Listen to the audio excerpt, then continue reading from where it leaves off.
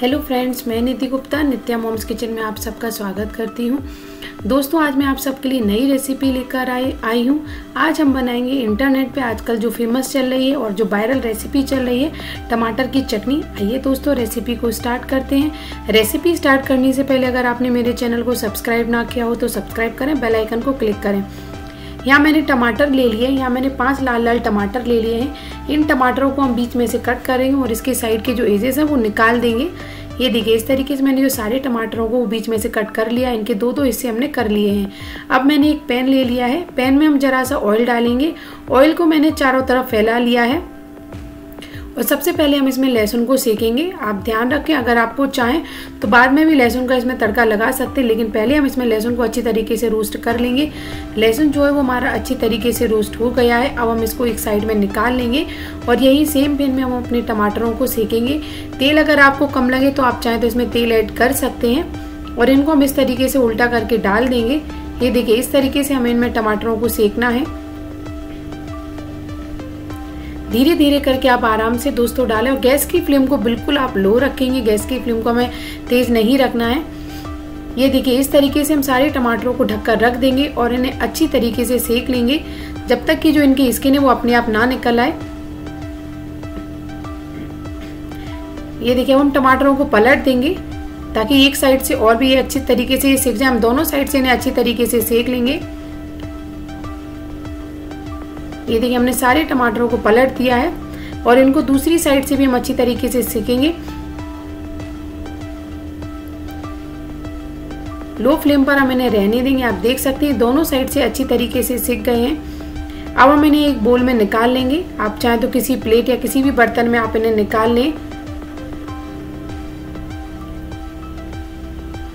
थोड़ा सा दोस्तों, आप इसे ठंडा होने दें। एकदम आप ना करें, क्योंकि गरम गरम है। हल्का सा इन्हें ठंडा होने देंगे। ठंडा होने के बाद दोस्तों हम इसका छिक्कल निकाल लेंगे। देखिए, आराम से इसका छिक्कल अपने आप निकल आएगा। इसी तरीके से आप सारे टमाटरों के छिक्कल आराम से निकाल लें। और हम इनको अच्छी तरीके से मैश करेंगे। ये देखिए दोस्तों, मैंने मैसर की सहायता से इन्हें अच्छी तरीके से मैश कर लिया है। एकदम ठंडा करके अगर आप कर रहे हैं तो हाथ से भी आप इन्हें मैश करते हैं।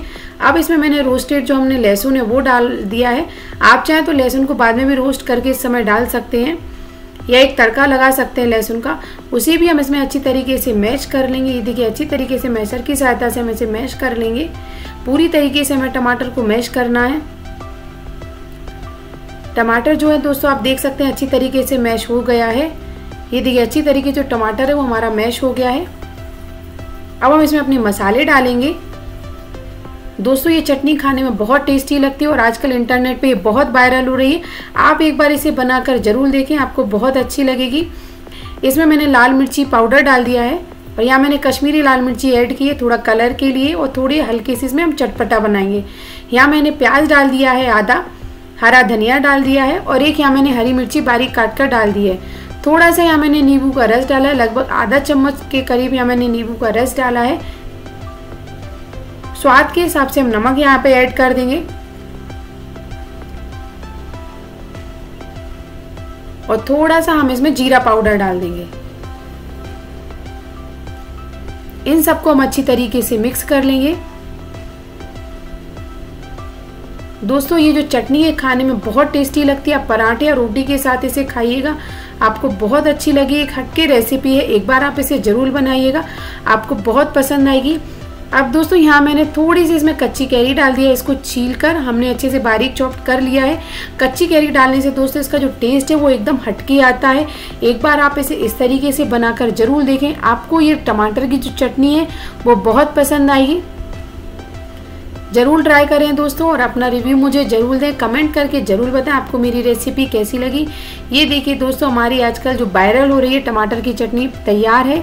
एक बार ज़रूर बनाएँ और मुझे बताएँ आपको मेरी रेसिपी कैसी लगी। इसको आप रोटी के साथ, पराठे के साथ या चिप्स वगैरह या बेफर्स के साथ दोस्तों, अगर आप इसे खाएँगे, आपको बहुत पसंद आएगी। ये देखिए, एक नए ट्विस्ट के साथ हमारी जो वायरल हो रही टमाटर की चटनी तैयार है। एक बार ज़रूर बनाएँ और मुझे बताएँ आपको मेरी रेसिपी कैसी लगी दोस्तों।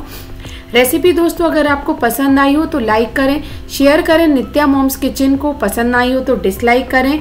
एक बार बनाकर ज़रूर देखें और कमेंट भी ज़रूर करें कि आपको मेरी ये रेसिपी कैसी लगी। और अपने फैमिली फ्रेंड्स के साथ शेयर ज़रूर करें और नित्या मोम्स किचन को सब्सक्राइब करना बिल्कुल भी ना भूलें दोस्तों।